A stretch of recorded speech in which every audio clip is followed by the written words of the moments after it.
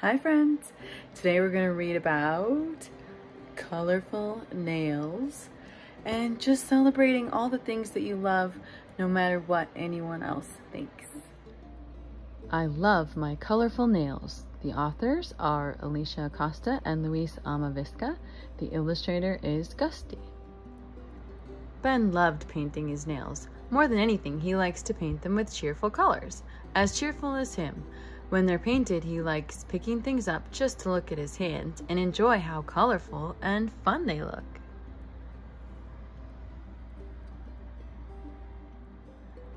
Why does Ben paint his nails? It's simple. There's no mystery to it. He does it because he loves his colorful nails. Most afternoons, once Ben finishes his homework, he asks his mommy for her collection of nail polishes. She has a box full. They're really pretty, Mommy loves sharing them.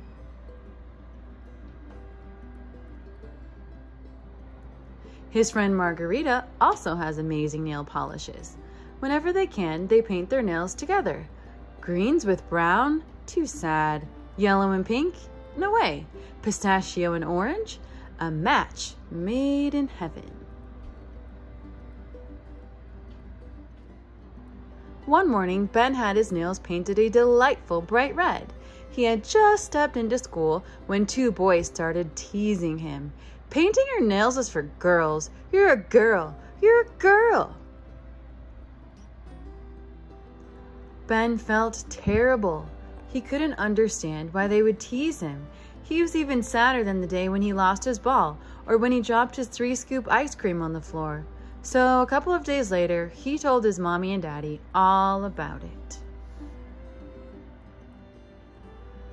Daddy said in a serious tone of voice, Ben, I'm also a boy, and you know what? We're going to paint our nails. I'll have orange, please. But at school a few days later, there were now three boys laughing at Ben and saying mean things to him. Only girls do that. Ben is a girly girl. Ben is a girly girl. Ben got even more upset. He couldn't understand why they'd do that. He felt even sadder than the day his fish went to fishy heaven. Leave him alone, shouted Margarita. From that moment on, Ben would only paint his nails on the weekend. On Sunday afternoons, he would ask Mommy to remove the nail polish, even if it was his favorite color. His nails were no longer bright and cheerful. Neither was Ben. But he didn't want the kids at school to laugh at him again. Daddy, on the other hand, would go to pick up Ben from school every day with his nails painted and a huge smile on his face, although the huge smile was nothing new. A week later, it was Ben's birthday. This year it was on a Monday, and like every Monday, Ben went to school with no nail polish on. He would have liked to have painted his nails a bright blue. Oh, how he loved bright blue.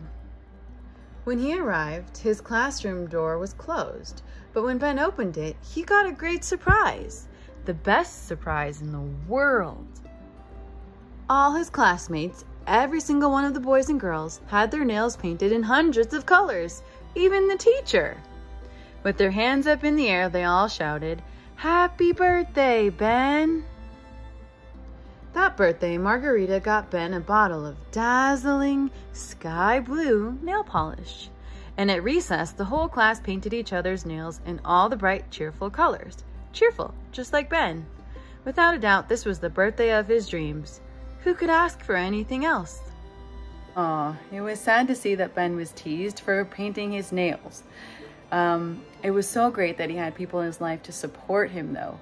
I hope you have lots of people like that too, who don't judge you based on what you look like and care about you for who you are.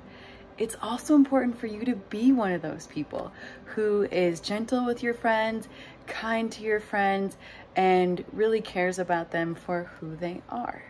Thanks for reading with me today.